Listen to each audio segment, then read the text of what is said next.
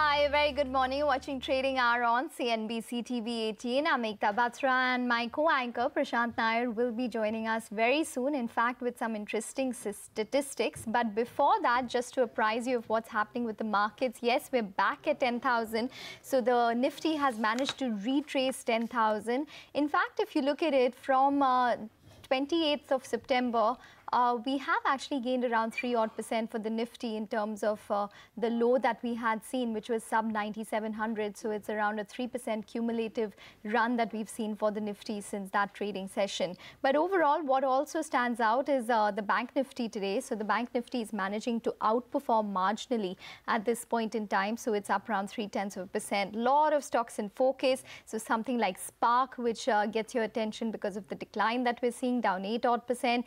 Titan, which is up around 4 odd percent, as well as something like Biocon because of that pegfilgrastim uh, TAD, which is from the USFD and expected tonight, and JP Associates, where that restructuring is approved in terms of the uh, debt. So that stock is up around 3 odd percent. But one particular statistic that we've been tracking every month is the mutual fund inflows, which have come off their all-time highs that we saw in the month of August. Not to mention, it is still high above around 18,000 odd crores as compared to 20,000 crores in the month of August. Prashant is here with all of the numbers and what it means. Prashant, over to you.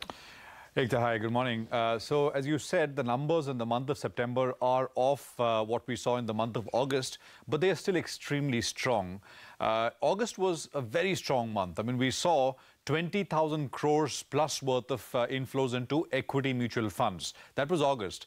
Uh, and uh, that basically was uh, compared to about under 13,000 crores in the previous month. So 13,000 crores in July, 20,000 crores in August, and I think it's but natural that uh, after such a big jump, I mean, the figure consolidates, maybe as they say in market parlance. So just under 19,000 crores is the number that we've got uh, as inflow into equity mutual funds in the month of September. This is basically about 7% lower. I mean, as the numbers uh, uh, is uh, showing, about 7% lower in September as compared to August.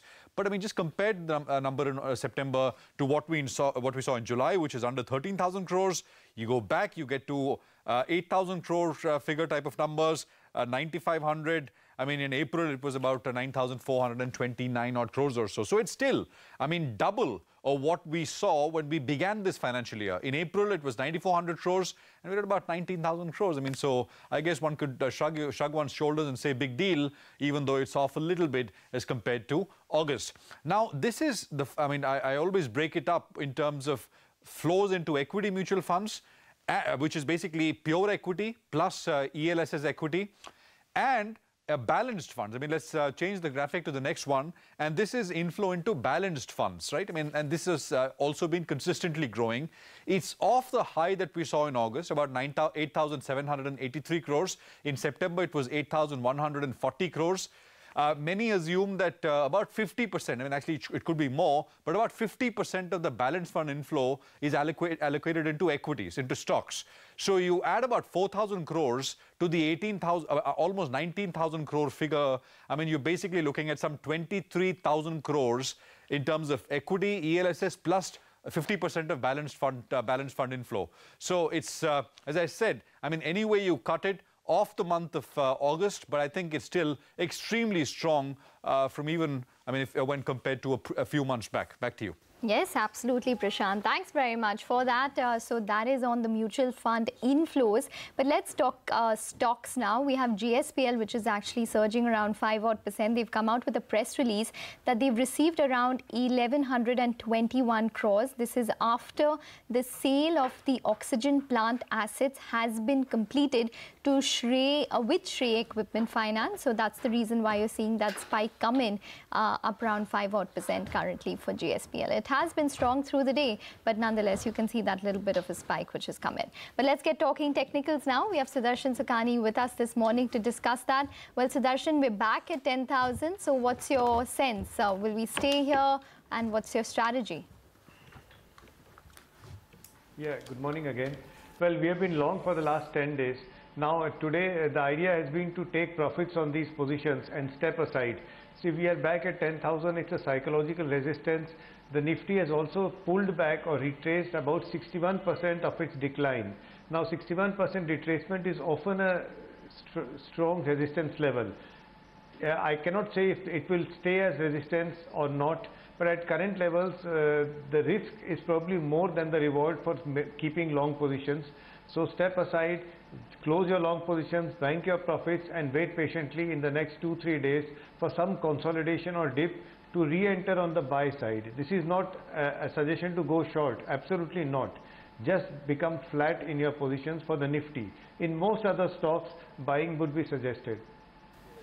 Uh, okay, so uh, what are the stock uh, specific trades, Sudarshan? Good morning. Good morning. Well, uh, let's go for uh, uh, mid caps mainly. Tech Mahindra is a buy. Actually, all IT stocks are now buying opportunities, including Infy. So we had HCL Tech in the morning after the markets opened. Tech Mahindra is also in the same league. Buying is possible here, and I think you could also carry positions. The second buy is Motherson Sumi. This is a stock that keeps relentlessly going up pauses, consolidates, continues its up move. So Motherson Sumi is a buy as it breaks out of a consolidation pattern. And finally, Bajaj Auto, we've all heard how the numbers for some of the auto companies were very good and that is reflecting in the momentum in share prices. So even now, it's a buying opportunity. Do not go short in this market. Nothing in the bank nifty? No, the bank nifty is now just uh, performing. For the last three days, it was underperforming. So I think it's best uh, the bank nifty and the nifty are left alone for the day. Okay, fair enough. Uh, let's get in those Twitter queries now, Sudarshan, this morning. The first one is from Ramana. She wants to know if she can buy Ultratech Cement and Canfin Finance for the long term. Your advice? Yes, remember, we are just in the beginnings of a long-term bull market. So Ultratech is one of the better stocks. Go ahead and buy it. Unfortunately, I cannot say the same about Canfin. I'm assuming it's Canfin Home, home Finance. Mm. Now, uh, this is a stock that has run up far more, yes, it's run up far more than what we could have imagined. This is not the place you want to buy it. You want it to pause for a year, two years, have deep corrections. So, Canfin is not a buying opportunity, but Ultratech is. Okay, uh, we have another question, and this is uh, IMAD, uh, is the name. He has 250 shares of Jet Airways purchased at 580 rupees and wants to know if he should hold or sell. 250 shares of Jet purchased at 580. Uh, Sudarshan, your uh, thoughts on Jet? Well, yes. See, it's now 485, 490. So the time to exit has already gone. At current levels, Jet is standing at a, a reasonably strong support uh, base so now you have to hold on. In a bull market, it's generally worthwhile holding on to shares. So hold on for one year, you'll probably get your cost price and maybe even a profit. Okay, fair enough, Sudarshan. We're going to let you go now. Thanks very much for joining and taking us through those strategies. Rahul Shah is also with us to tell us about uh, strategies in the F&O space. So, Rahul, over to you. I think uh, what the way, way, the market is set up, I think two sectors which has been outperforming. One is auto and uh, metal, which has been, we've seen a renewed interest uh, continuously. So in that space, I have two stock ideas from that uh, uh, space. So I think auto first, let's talk about, talk about auto. Auto, we've seen auto index as a whole has been doing quite well. And a few select stocks, we have seen a longs added. So in that space, I've been uh, liking in two space Bajaj Auto. So I would buy Bajaj Auto with a stop loss of 3110 and target of 3230. Second, as I said, metal have been you know doing quite well, and again, metal index has been one of the best performing in uh, in last couple of months. So in that space, JSW Steel is my top idea. So I would buy JSW Steel with a stop loss of 253 and target of 275. Third, from a mid, mid, mid cap space, I think Tata Power is one stock. We have seen some longs building it up and stock consolidating from 77 to 85 levels. So I would buy uh, Tata Power with a stop loss of 79 and target of 85.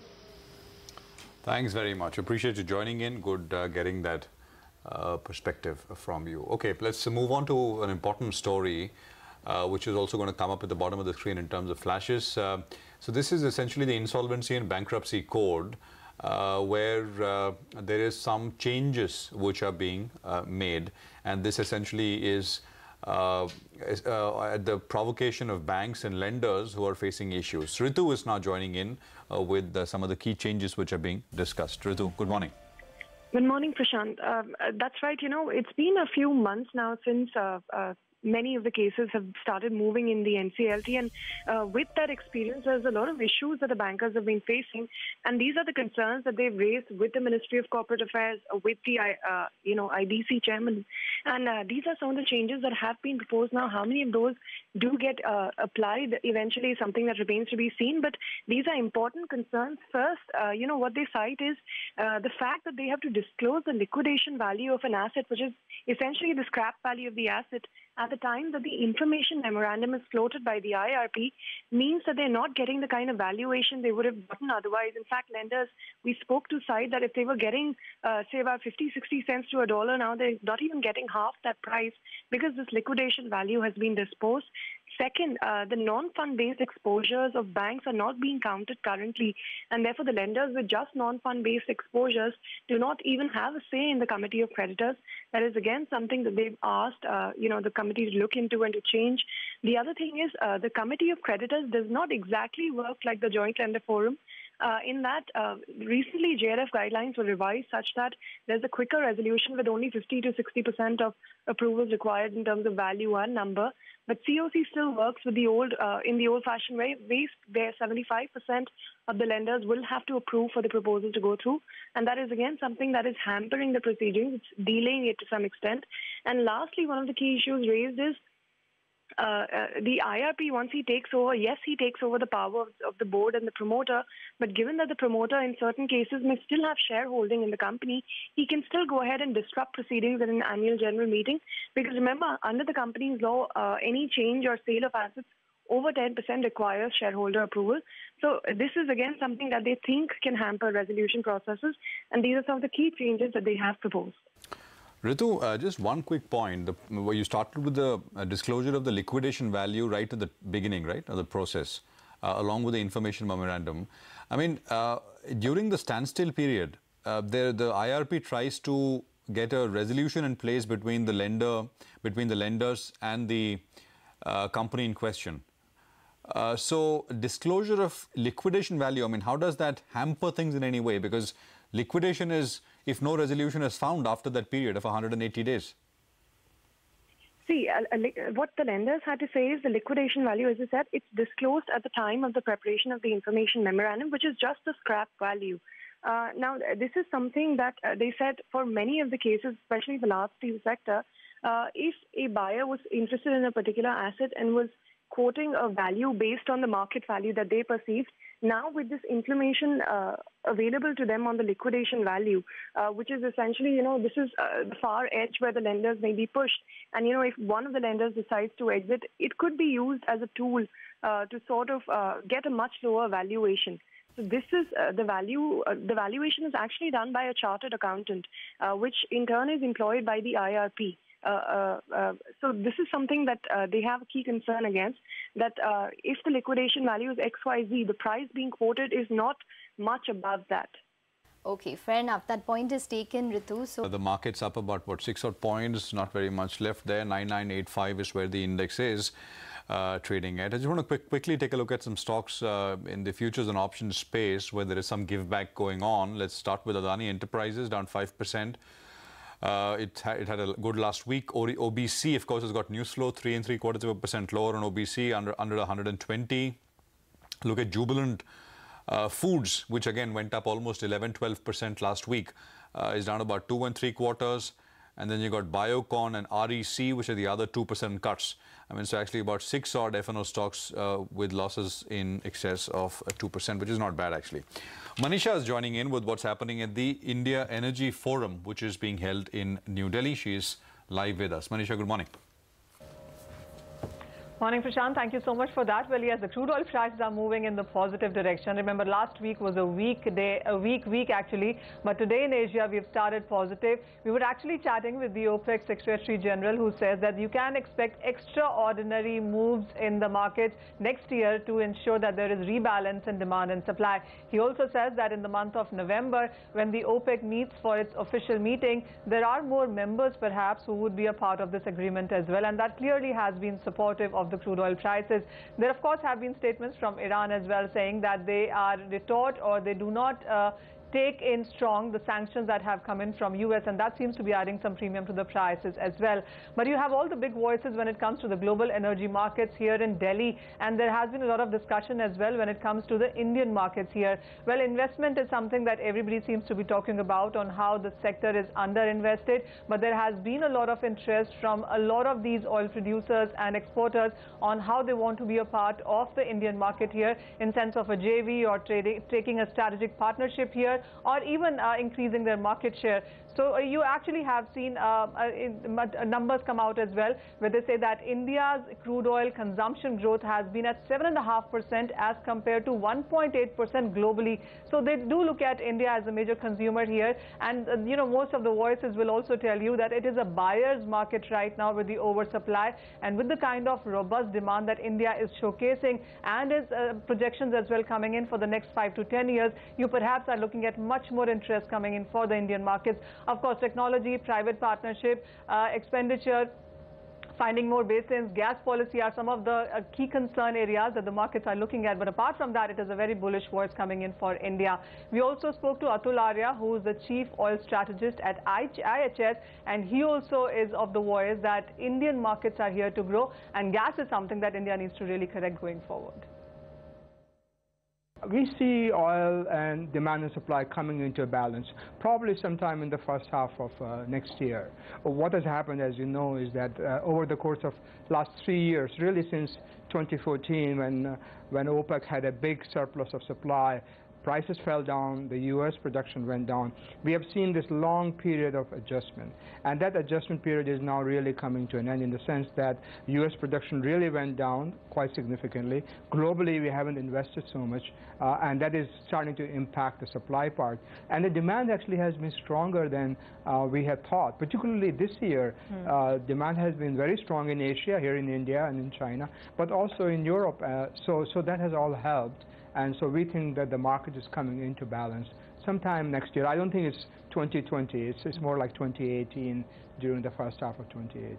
All right. Let's talk about India more. And while we keep talking about investments here, what is your sense? Is it going to be technology, more investment, uh, further digging deeper in India that would really push the sector forward? Yeah. So India is, uh, to me, is a very exciting place to be. India needs a lot of investment you know, in oil and gas. You know, India is importing more than 80%, and that import dependence is growing uh, mainly because the consumption is growing.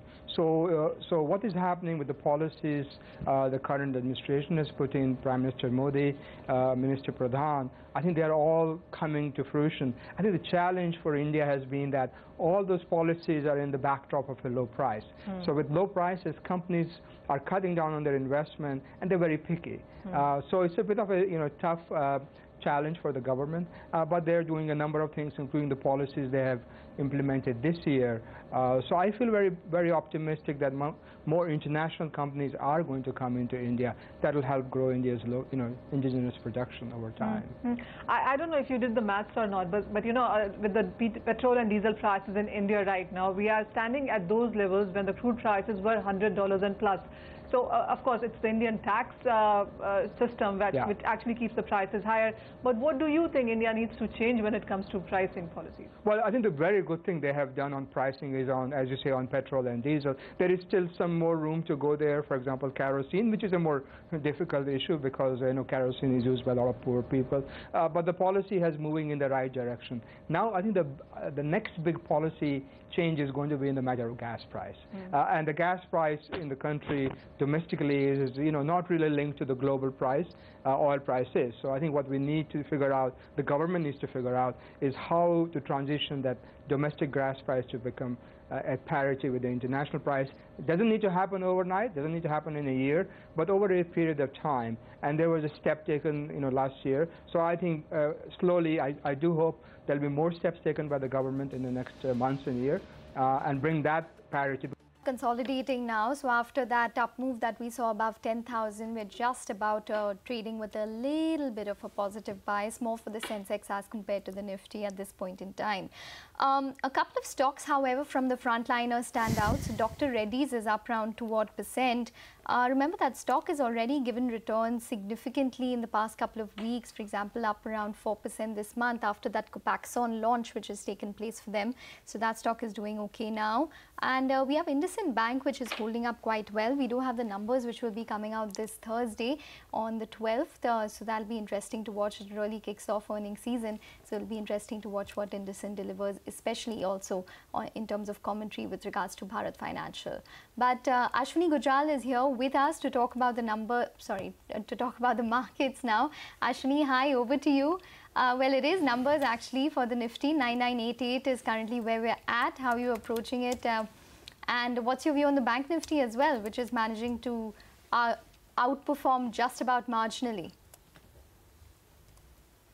Well, we are holding on to 9980. Uh, so that means the market is trying to develop a higher support. I think Bank Nifty is also uh, trying to hang on to 24,250. So this dip, uh, you know, should be bought, and uh, the odds are that uh, if uh, the banks are able to come out of their range-bound action, uh, we will get higher levels. So um, I would think this is just an intraday decline, which should resolve on the upside. As far as individual stocks are concerned, IndusInd Bank is a buy with a stop of 1690, target of 1750. Uh, PVR is a buy with a stop of 1340, target of 1385. And HSIL is a buy with a stop of 410, target of 445. Ashwini, I mean, uh, just look at uh, SRF uh, and what's going on there. Big move.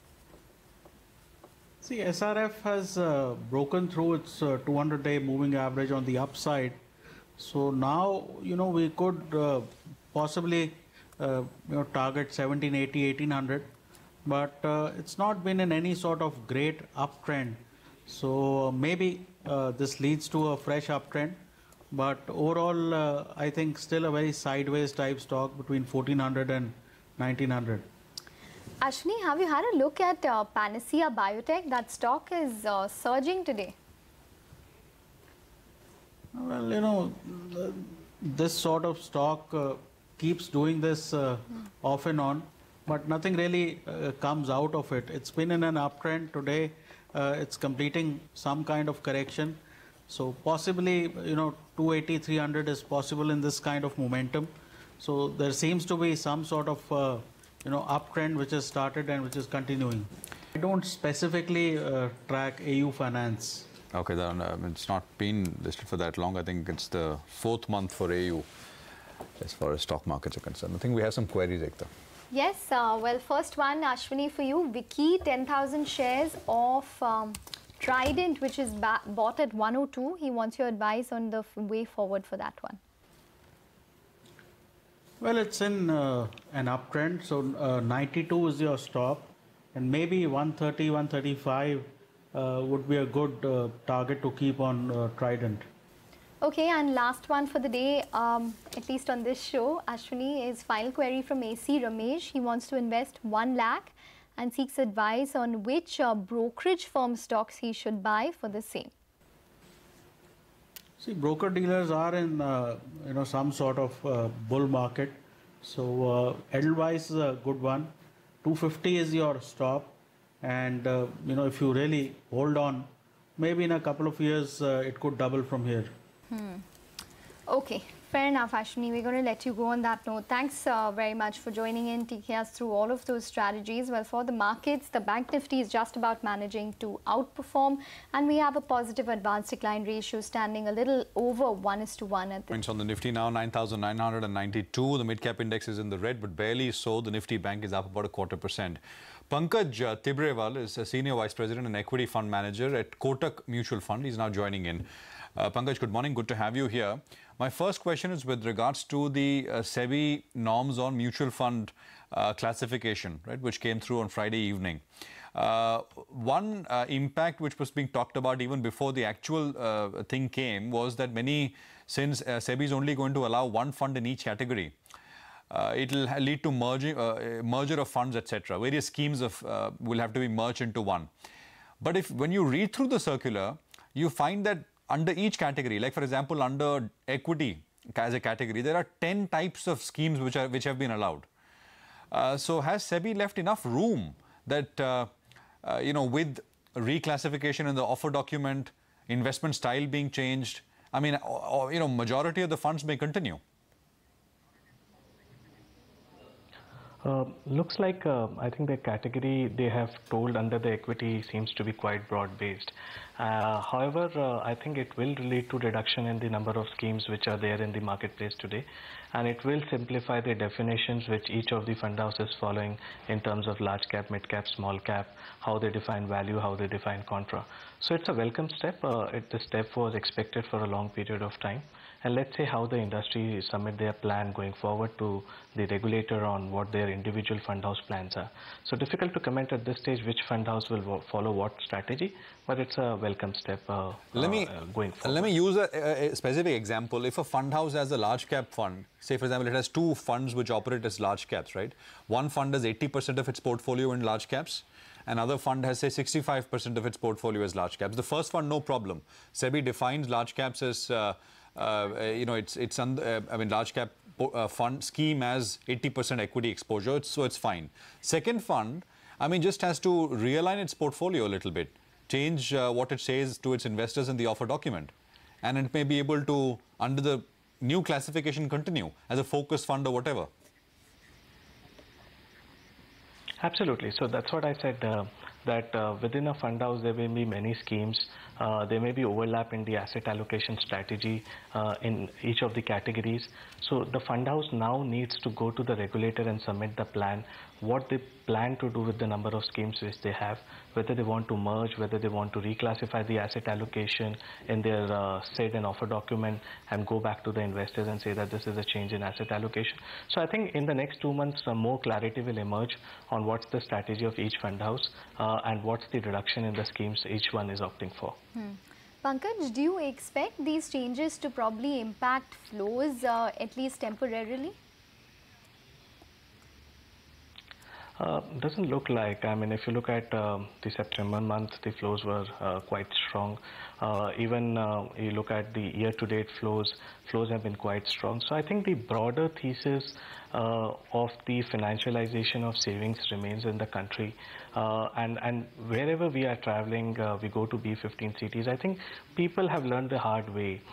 Yes, you will see a lot of people trying to, uh, you know, uh, take punt on the individual stocks without research, without just on hearsay. But going forward, a lot of people have admitted to the fact that leave it to best to the money managers who are managing it for a longer term perspective. And that SIP book, which probably is 5,000, 5,200 crores, I see it a long runway for growth going forward. and in the next five, seven years, we believe that uh, this uh, asset management industry uh, could grow in tune of 15 to 17 percent CAGR over the next five years on this space. So clearly, we there may be short-term phenomena, but if you just ignore that uh, because of any of these reasons which you mentioned, uh, the medium to long-term outlook still remains very robust for the industry. Hmm. We've seen uh, more resilience come in for the broader markets, for the mid caps as compared to the Nifty, at least in the last uh, couple of weeks. Pankaj, what's your view? Do you think that uh, maybe there's a bit of frothiness developing in the broader markets or are you preferring uh, frontline stocks over mid caps? What's your strategy? So clearly over the last three to six months, you have seen uh, especially the small cap segment doing exceedingly well. Uh, year to date, uh, calendar year to date, small cap segment is up by 35%. Uh, and clearly a lot of stocks are doubling um, very fast. I think that gives us uh, some bit of caution. I think uh, clearly a lot of cyclical businesses have been given structural PE where there's a visibility of one or two quarter of earnings, people are just lapping it up and giving it a, a very high PE uh, on the high elevated earnings. So there's some bit of cautiousness which we believe should be uh, used at this stage of time. Uh, our approach is that have a quality oriented approach, stick to quality businesses which will deliver over a period of time.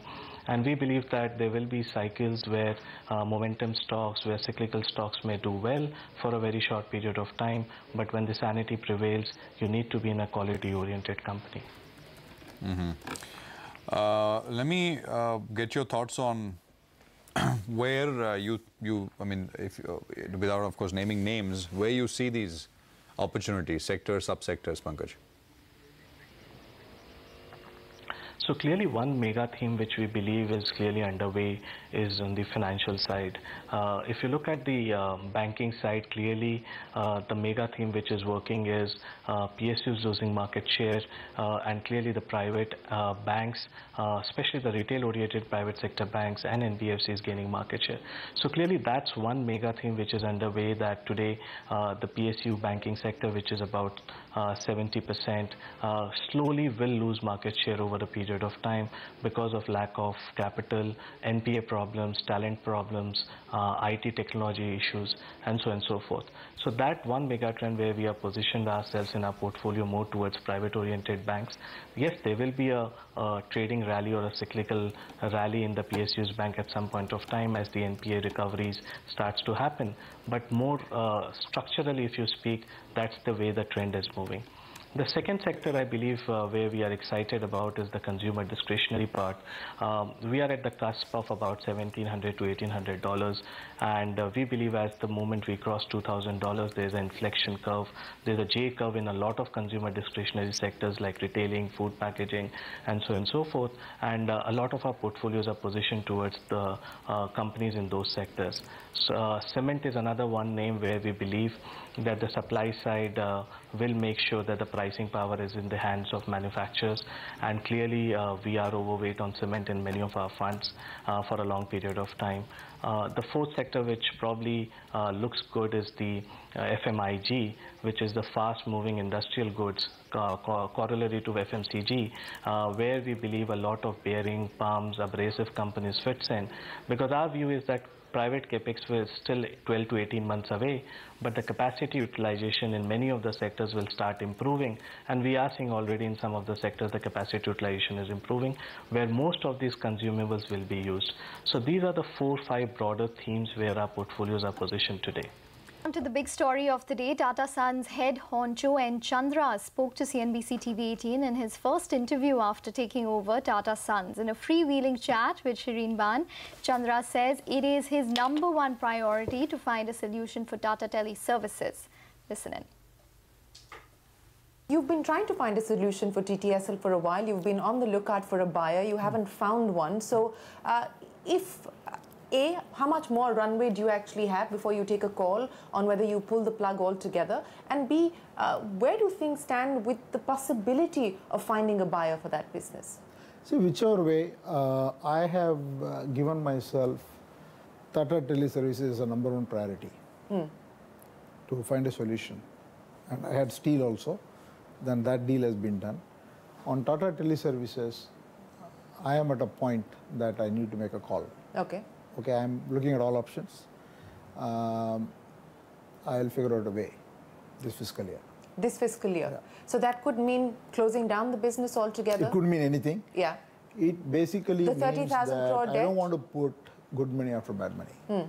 I have a situation where already the debt is about 31,000 crores. Additionally, I have spectrum liability. Um, and uh, we are making losses, cash loss on a month-on-month -month basis. So it is not a business that uh, I can easily turn around unless or otherwise I'm willing to commit another 50, 100,000 crores. Mm. and you're not willing not, to put that money. That's not prudent. Mm. So I will make a call. I am at the point now. Don't ask me whether it is this month, this quarter, next quarter. You said this financial but year. I am this financial. I would like to. I would like to find a solution. Uh, do you still believe that there is a possibility of finding a buyer?